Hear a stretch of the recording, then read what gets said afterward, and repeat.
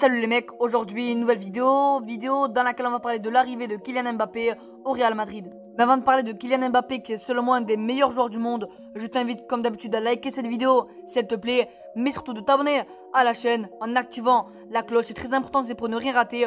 Je compte sur toi frérot et nous les mecs, on est parti pour parler d'Mbappé au Real. En Espagne, on annonce que les négociations avancent bien et qu'un accord entre les deux clubs pourrait intervenir d'ici la fin de la semaine.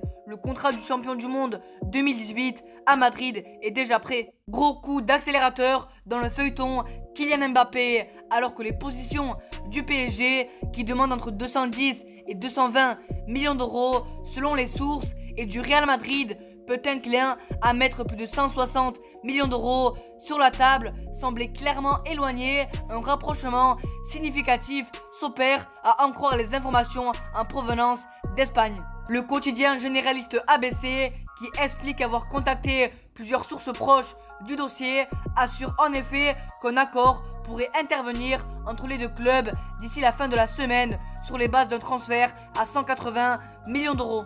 Et ce n'est pas tout. Le journal indique que l'accord entre la Casablanca et l'attaquant parisien n'est plus qu'une question de détail. Il y a déjà un consensus majeur sur les contours de son futur contrat au Real Madrid. Ainsi, le champion du monde de 2018 paraphera un bail de 6 ans avec les merengues, soit jusqu'en juin 2027. Il percevrait un salaire annuel de 30 millions d'euros. Les prochaines heures nous diront si les informations de nos confrères ibériques se vérifieront ou non. La saga Mbappé bat son plein. Voici en tout cas pour cette petite vidéo mercato sur le PSG. J'espère qu'elle t'aura plu.